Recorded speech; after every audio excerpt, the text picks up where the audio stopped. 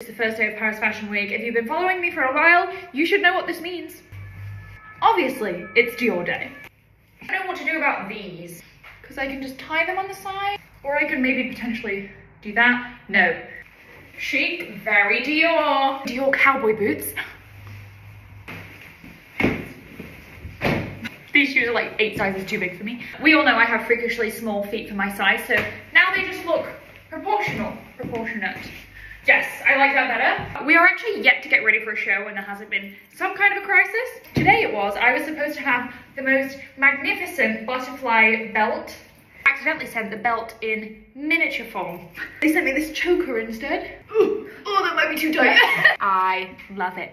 Dior, if this goes missing, if I send my look back and this is not in the bag, you know where it went.